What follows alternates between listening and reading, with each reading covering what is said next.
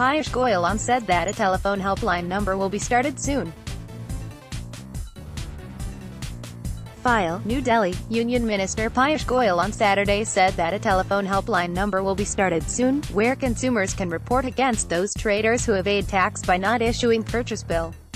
According to the Finance Ministry's tweets, the Union Minister for Railways, Coal, Finance and Corporate Affairs also appealed to consumers to demand for bills, whenever they buy any goods or services which would help in reducing the rates under the GST.